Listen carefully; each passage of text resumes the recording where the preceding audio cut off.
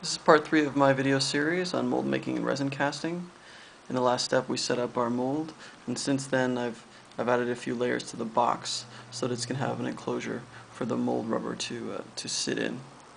So once you open up um, your box of supplies in the, in the kit, in the previous videos I showed, um, what you're going to want to get out is uh, this mold release agent. Now this is what I've already done, but you take this and you just spray it over top of your mold and that's going to let um, it's going to be much easier to remove the mold rubber from uh, from the mold itself when it comes time to remove it. So once that's layered, it's, uh, it recommends waiting about 10 or 15 minutes just for um, I think the liquid part of it to uh, to evaporate and then you're going to be left with uh, only the mold release. So the other two things we're going to use are mold rubber. It's two parts. There's a pink part and a blue part. Uh, we want to do this one-to-one -one ratio. And I've got a separate mixing cup that I'm going to pour them in. So all I'm going to do is I'm going to pour them into the same cup, mix them all together so it's a, a very even purple color. And then I'm going to start pouring it into one corner of the mold and only pour it there nice and slowly and it's going to roll over top of all the detail. So I'm going to take equal parts. And what I like to do is um,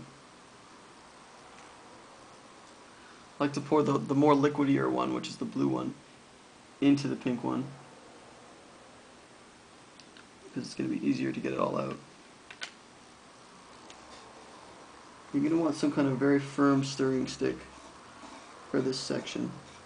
This is also very messy, so you want to make sure you have some paper towels standing by and a garbage container so you can put the leftover cups in the garbage.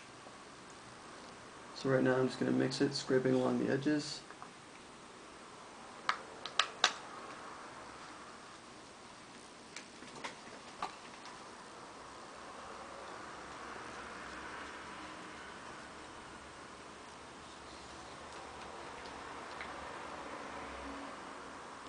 And after my initial mix, once I've got a, a, decent mix, what I like to do is I like to pour it into the next container so that any any parts that are sitting on the side of the walls are going to be a lot more evenly added to the mixture and they're not going to just stay stuck to the walls.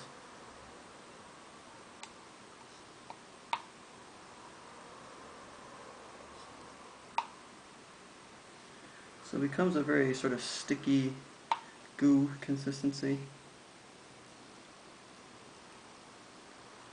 Once I've got the most most of it out of there, I'm not going to waste too much time getting it all out. And then I'm going to continue stirring it and get a nice even color.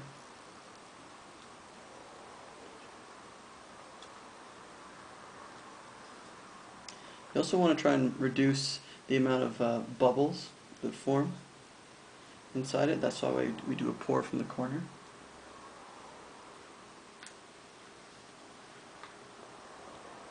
So I've got a pretty good consistency, but I want to make sure that it's as, as good as I can get it.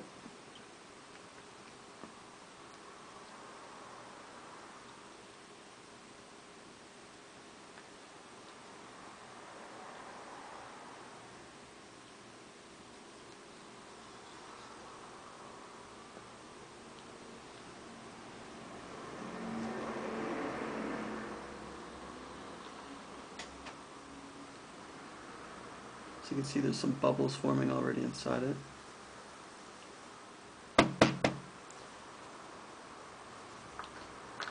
We want to minimize those if we can. So I'm just going to break up some of the bubbles on the top.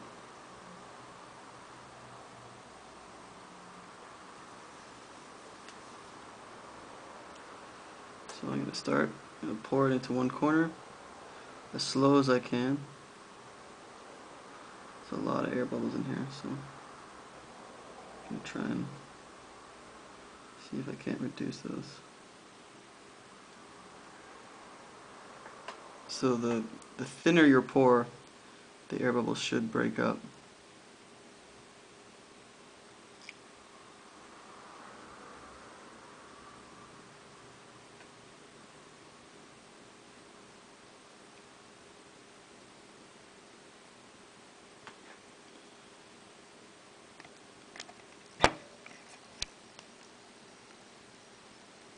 Sorry for the shaky cam, I'm just holding this as I eyeball it on the side.